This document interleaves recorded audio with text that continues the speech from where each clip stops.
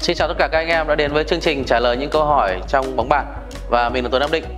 Có rất nhiều anh em đã gửi cho mình một cái câu hỏi và rất nhiều người thắc mắc đó là cái động tác giật phải trong bóng bàn ấy thì mình nên hạ tay thấp hay là để tay cao? Thì có nhiều người lại bảo là tay phải cao hơn bóng này rồi nhiều người bảo là tay phải hạ thấp xuống dưới đầu gối này. Vì thực tế cái uh, câu trả lời cụ thể nó sẽ như thế nào thì chúng ta hãy cùng tìm hiểu nhé.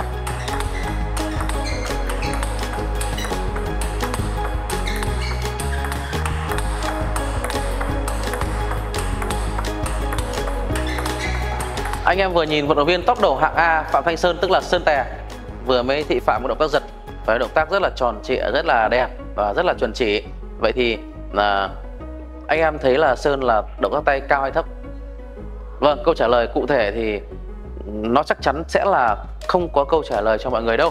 Bởi vì cái này nó phụ thuộc vào cái chiều cao và cái thể trạng của mỗi người. Một người thấp ấy, thì đương nhiên mà không thể hạ thấp tay xuống được, một người cao thì đương nhiên là không thể để tay cao được. Bởi vì bóng ấy, nó chỉ chạm bàn và nó và nó chỉ nảy lên và rơi xuống ở một cái cự ly nhất định thôi. Đấy, tùy từng pha bóng và tùy từng cái thể trạng, thể hình của mỗi người mà chúng ta sẽ có cái động tác khác nhau. Điều đó là thể hiện rất rõ ràng ở các vận động viên thế giới. Mỗi người có một động tác khác nhau chứ không có ai giống ai như một khuôn mẫu cả. Và ngày hôm nay thì Tuấn có một cái bí quyết để cho anh em biết được rằng mình có đang hạ tay ở một cái vị trí đúng hay không nhé rất đơn giản thôi đó chính là nhìn mặt vợt của các anh em. À, Sơn hãy cho anh uh, mượn cái vợt của em một chút để uh, có thể là mình uh, hướng dẫn cho mọi người thấy là cái uh, bí quyết làm sao mà chúng ta có thể uh, biết được là mình có hạ tay đúng hay không nhé rồi anh cảm ơn. Và Sơn đang dùng cây vợt uh, Liberty Power với mặt bên phải là mặt uh, Tipa Hybrid MK anh em hãy uh, cùng xem cái vợt của Sơn một cách cụ thể nhé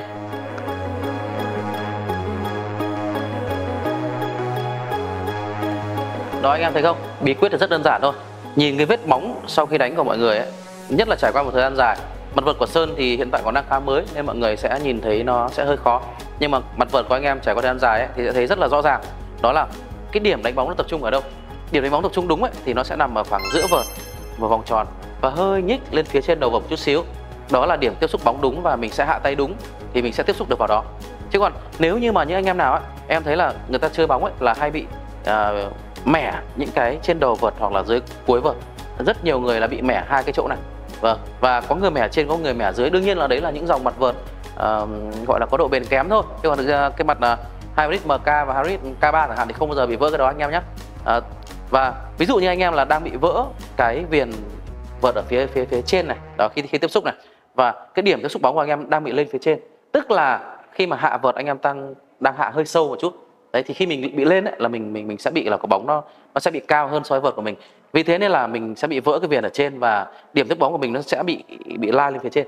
Và ngược lại thì anh em bị cao tay ấy thì sẽ rất là hay vỡ cái viền phía dưới và cái điểm tiếp bóng của mình nó hay bị xuống phía dưới vợt. Đó à, cái bí quyết này rất là đơn giản đúng không? Nhưng mà nếu mà tôi không nói thì sẽ có nhiều anh em không biết được. À, anh em cứ nhìn điểm tiếp bóng thì sẽ biết và ừ, đừng có nghe ai nói cả. Vâng có người bảo là phải hạ xuống chỗ này này phải hạ xuống chỗ kia này rồi rất là nhiều thứ người ta đang áp đặt cái bản thân họ vào chính anh em và thực ra thì mỗi người đều có động tác khác nhau tùy theo thể hình thể lực và thể trạng của mỗi người thế nên là hãy tự cho mình tự tìm cho mình một con đường đúng đắn để có thể có một động tác giật phải tốt nhất và phù hợp nhất với bản thân mình à, hãy hiểu sâu từng nguyên lý trong bóng bàn và theo dõi kênh của Tuấn Nam Định để chúng ta cùng đi tìm hiểu những bài học tiếp theo nhé.